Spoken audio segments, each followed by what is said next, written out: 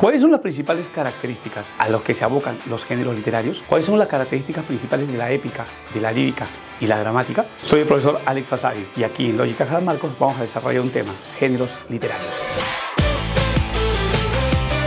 Y seguimos con la siguiente pregunta, ¿sí? En la siguiente pregunta vamos a ver nosotros unas viñetas. En estas viñetas vamos a ver unos parlamentos. Y entonces, lógicamente, la pregunta viene así. En los parlamentos de cada uno de los personajes de las viñetas del cómic Asterix El Galo, se puede apreciar el predominio del género literario. Los géneros literarios, los géneros literarios son normas creadas por tratadistas que las han diseñado. Y lógicamente el primer gran tratadista que diseñó los géneros literarios fue Aristóteles, que nos mostró los tres géneros literarios clásicos, épico, lírico, dramático. Aristóteles planteó una función para cada género. La función del género épico es narrar, la función del género lírico es expresar y la función del género dramático es representar a través del movimiento o la acción.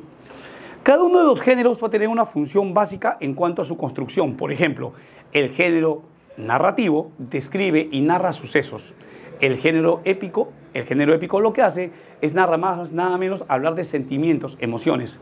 El género dramático es la fusión de ambos. Es la función del género lírico y el género épico, tanto en lo objetivo o en lo subjetivo.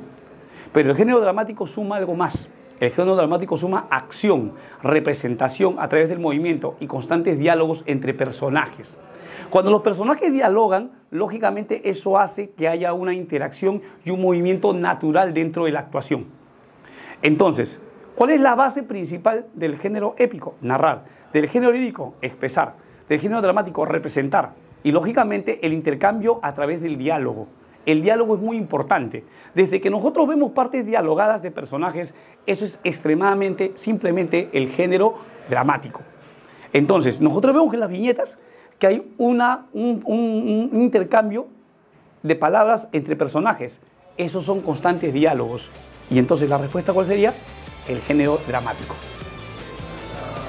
Así es como resolvemos las preguntas aquí en la Academia Logical San Marcos.